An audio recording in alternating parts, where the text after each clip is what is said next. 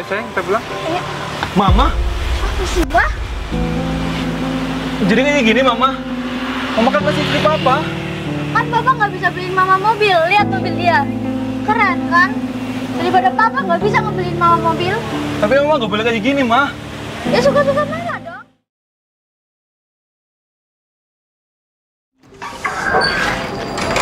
Ma, kok baru pulang? Telat banget ini jam 5 loh. Biasanya juga jam 3 udah pulang. Aku tuh lama nungguin bus, tau nggak?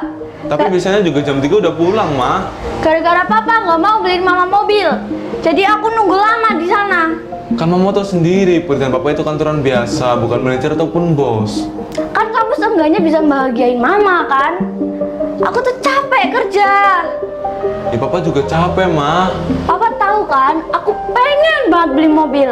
Sedangkan Papa nggak mau ngebeliin Mama mobil. Tapi kan Papa belum ada uangnya, Ma. Pokoknya Mama kasih waktu untuk Papa tiga hari untuk ngebeliin Mama mobil. Tiga hari. Kalau enggak, kita cerai. Aku udah capek. Ma, Ma. Astagfirullahaladzim.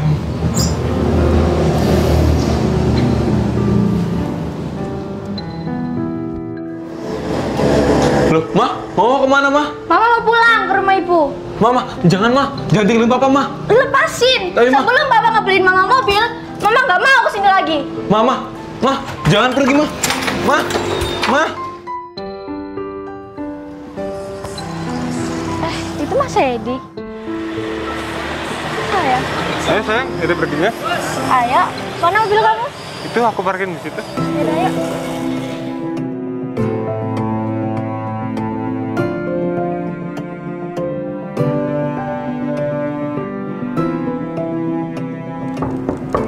Silakan masuk. Permisi, Pak. Ya, silakan duduk. Ini Pak, saya mau laporan. Bapak kenapa kok mukanya murung banget? Saya lagi ada masalah sama istri saya di rumah. Oh, tapi biasanya kalau masalah seberat apa pun, Bapak terlihat ceria. Masalahnya, istri saya itu minta dibeli mobil. Dan dia mengancam saya kalau saya tidak beli mobil, dia mau ceraiin saya. Iya, Bapak tinggal beliin aja. Kan Bapak bos di sini, uangnya banyak. Ya kan kamu tahu sendiri cerita saya sama istri saya gimana. Kan saya berpura-pura jadi orang biasa di depan istri saya. Gimana kalau Bapak beliin, tapi Bapak bilangnya kredit? Atau enggak pinjam ke leasing gitu?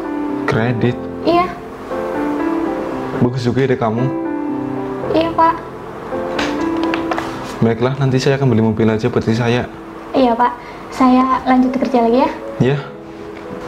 Isma, Iya Pak. gimana kalau nanti kamu temenin saya beli mobil ya? Oh iya boleh Pak, nanti saya temenin. Ya, ya udah kamu kerja lagi aja. Iya Pak.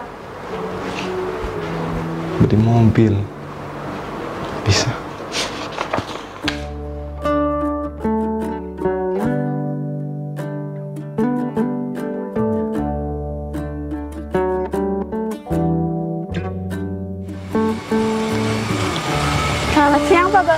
Siang, Oh iya, ini unit yang dipesan sama Pak Bahul ya. ya. Surat-suratnya sudah lengkap ada di dalam mobil Udah di dalam. ya. Ini untuk kuncinya. Mau dikirim atau dibawa sendiri Pak Bahul? Dibawa aja. Is, tolong bawa ya. Oke Pak. Kalau gitu saya permisi dulu. Ya silakan Pak. Mari ya Mbak. Ya.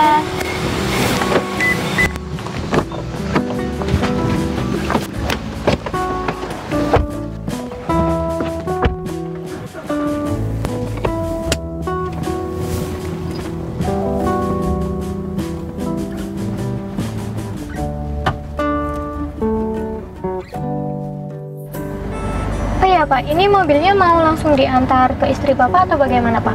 Jangan. Kita nunggu hari ketiga aja. Kan dikasih waktu tiga hari. Iya Pak. Terus ini mobilnya mau dibawa ke mana dulu Pak? Ke kantor aja. Kita simpen di kantor sampai hari ketiga. Ya ini langsung ke kantor ya Pak? Ya.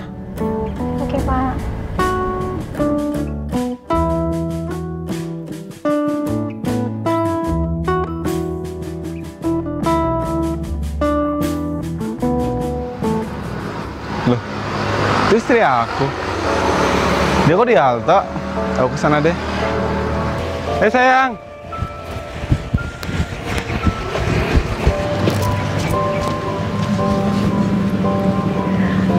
Kamu udah lama nunggu di sini?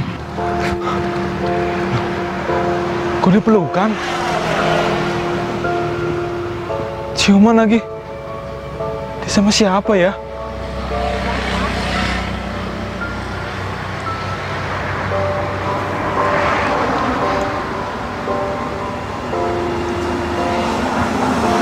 Halo Is.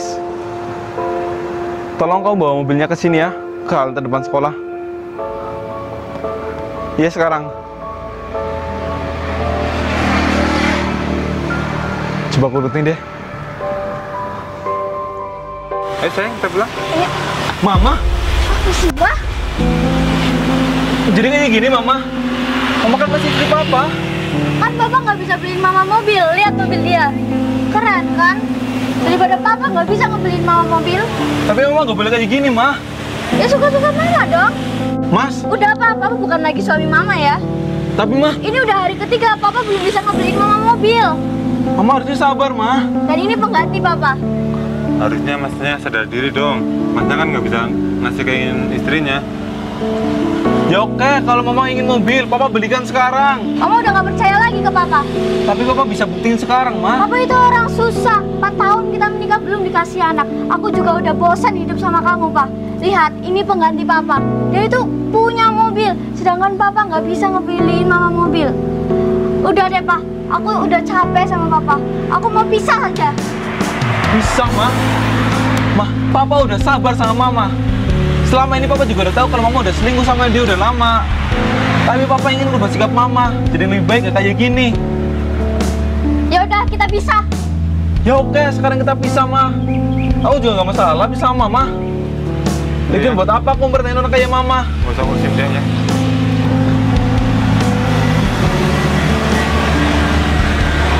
Aku mau pisah sama kamu. Ya udah kita pisah aja.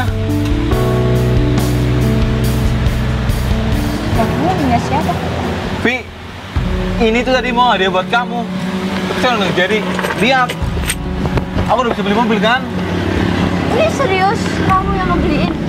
Serius lah, tapi sekarang udah enggak. Tapi, wah, Apa kita udah Permisi, Pak cerai? Paul. Ya, Ini kunci mobilnya? makasih ya. Ya. Ini kunci mobilnya. ini beneran mobilnya buat aku. Iya, tadinya buat kamu, tapi nggak jadi buat kamu sekarang. Kok kamu bisa beli mobil mewah kayak gini padahal Bisa lah. kerja kamu kan kantoran biasa. Maaf Bu, sebenarnya Pak Bahul ini bos di kantor. Apa? Bos? Iya. Jadi Pak Bahul pengen tahu sifat asli Ibu. Jadi kamu selama ini bohongin aku? Iya. Karena tuh nggak pengen punya istri yang koyang-koyang mandang suaminya dari harta. Gue pengen punya istri yang menemani aku dari tua itu berdasarkan cinta yang tulus.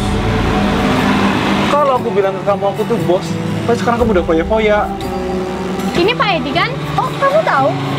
Iya Bu, dia tetangga saya. Dia juga punya istri dua di rumah. Istri dua? Iya Bu. Kamu Kamu aku serius? ya, katanya Iya, kamu Pak. istri. Juga kamu beda. Kayaknya aku bisa jelasin semua itu kok. Aku bisa pisah sama mereka semua. Asalkan aku sama kamu. Beneran? Beneran ya? Hati-hati loh Bu, dia itu mafia. Dulu aja aku hampir kena. Alhamdulillahnya aku tahu sifat dia.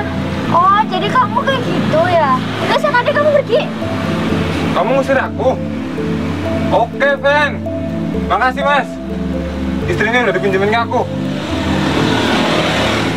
Dan kita bisa balikan lagi kan? Balikan? Iya, aku akan ngebenerin semua kesalahan aku. Maaf ya, aku udah gak mau balikan lagi sama kamu. Satu kali aja.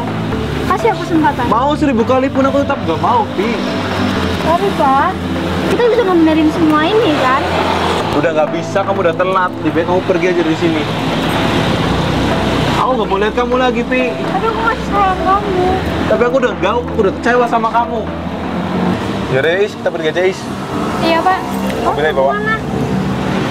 Saya mau pergi, itu bukan urusan kamu lagi ya. Pak.